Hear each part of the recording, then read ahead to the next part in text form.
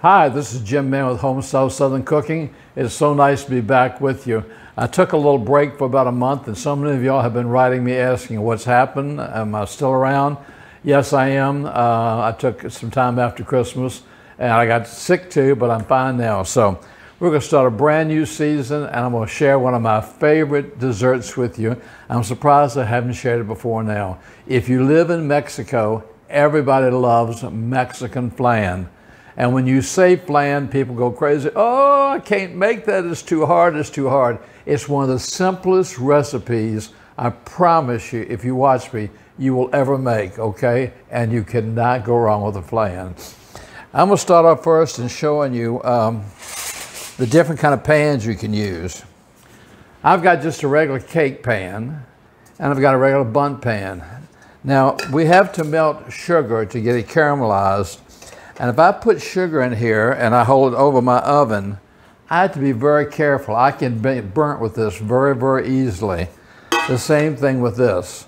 So what I do is I use a non-stick skillet, get my caramel, and then I pour it into my pan.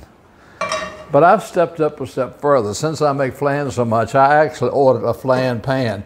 But you don't need that. That's why I'm showing you this, okay? The only reason why you need a flan pan is because you have to have a covering while you're baking it.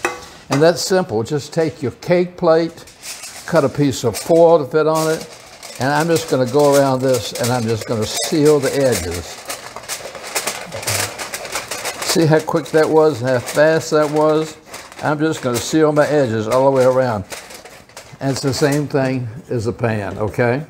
So now that we got that out of the way, we'll start making our flan.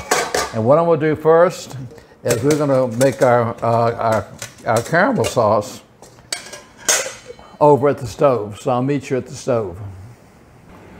Okay, I've got about three-fourths cups of sugar. Some people just use like a half a cup, but I really love the, car the caramel sauce on the flan. And when I've got this on, I've got this like over sort of a medium heat, and I'm gonna let this stay here. Now, what this is gonna do is I'm going to stir this, and once I start stirring this, I will not be able to stop. Uh, this will start bubbling and start turning yellow. And then after it turns yellow, it'll get darker and darker until we get a beautiful caramel color. So it takes a few minutes for this to get hot and to get going. So let me get this going. Once it starts turning color, I'll come back to you. Okay, this is about halfway there. As you can see, the sugar is starting to lump up, okay? Uh, and it'll get real lumpy. So I just want you to think when you got to this point, oh, I've done something wrong, because you haven't. So I'm going to continue melting it, and when it gets ready, I'll come back.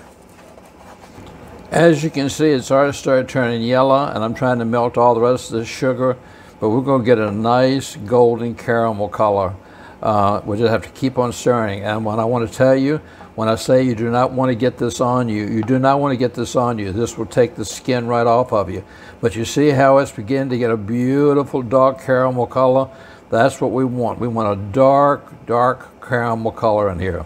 So I'm going to finish cooking this and come back over to show you. We'll put it in our flan pan. Okay, I've got it. You can see it's a real dark caramel color. And we'll pour it right into my flan pan here. And, and to see the beauty of using this pan, it all just comes rolling right out because that would, would be really difficult to get out if it didn't come out because that sugar gets really, really hard in the pan, okay? So, now notice I'm taking the top of this and I'm not to touch the bottom. That's burning. I'm to take the top of this and I'm going to roll my flan around here until I get it all over the bottom. I'll get my caramel sauce until I get it all over the bottom. Once I get it over the bottom, I'll shake it a second and our, our caramel topping is now ready. I'm gonna set this aside and then we'll start working on actually making the custard for it. Okay, I've got my blender here. This is so, so simple. All right, I'm gonna use eight eggs. Some people use six eggs, some use eight. I find it works better for me if I use six, uh, eight eggs, I'm sorry. So Gonna put all the eggs in here and then we'll blend it up. Okay, I've got my egg, eight eggs into my blender. And what I'm gonna do next is I've got one can of carnation milk. I'm to put the can of carnation milk right in there. So I've got eight eggs, a can of carnation milk. Very simple so far. The second thing, I've, a third thing is just a can of sweetened condensed milk.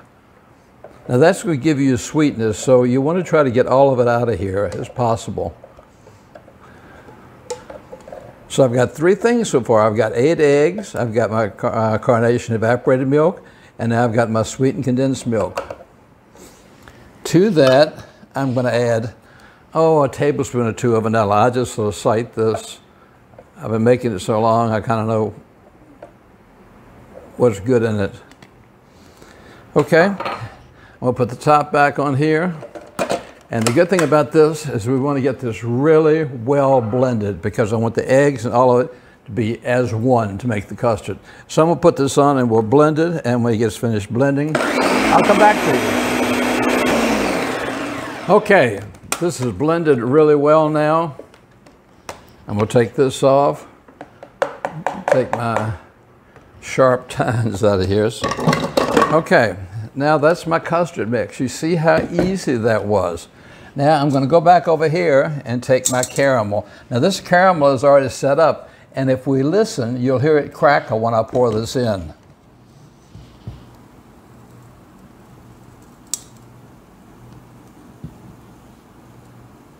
That was one little crackle.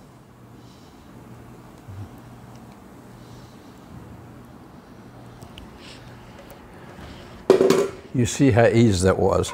Now, this would be the time that if you had your cake pan, you put your Reynolds wrap over top of it. But since I have my flan pan, I just put my flan top on it, and I'm gonna hook it over. My oven's been set at 350. I'm gonna take this now, what I've got, I've got a great big baking dish, and I'm gonna set my flan right, flan right in the middle of it, and I'm gonna fill this full of water, about halfway full of water.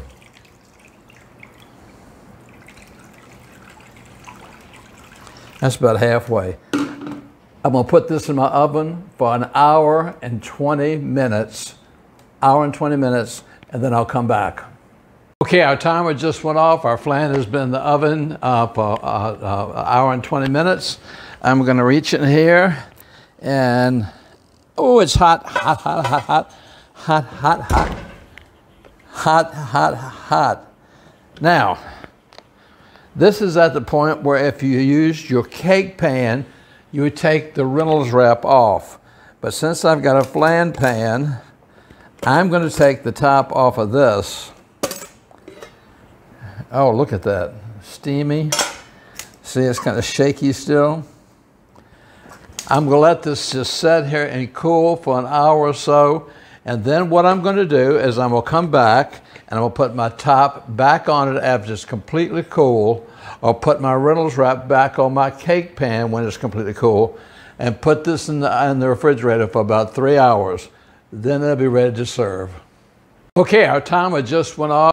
Welcome back. It's, it's the next morning. I went ahead and put this in the refrigerator and uh, I went to bed early last night, so I just took it out. You can see the frost is on it.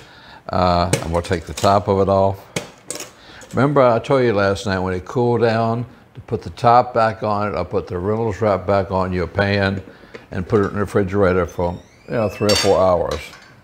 What I'm to do now is I've got a little paring knife. I'm just going to go around the edge of this just to make sure that it's loose all the way around.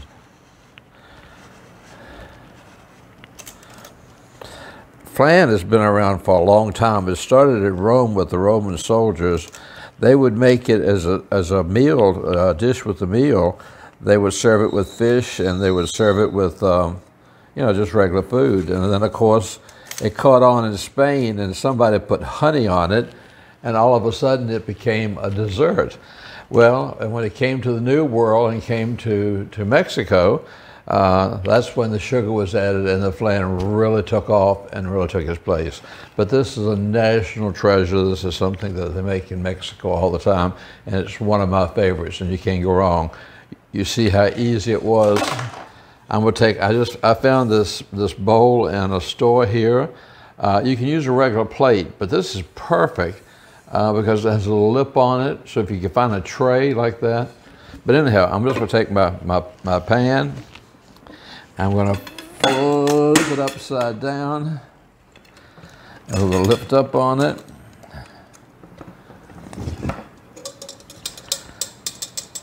Oh, look at that. That's just beautiful. Uh, hold on one second. Let me get my spatula. Okay, I got, got my spatula. I want to make sure that I get all this delicious juice out on top of this because when you cut a piece, you want to make sure that you have um, some of the juice on it. Okay. And now the best part of all is actually cutting it. So I'm going to take my knife, cut a little triangle out of here.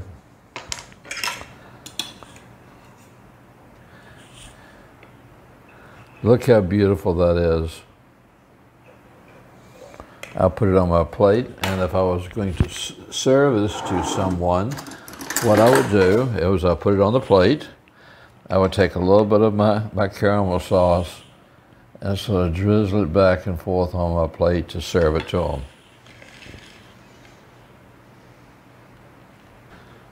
Okay, you saw how simple this was, but this is the true taste. Look at that, just beautiful.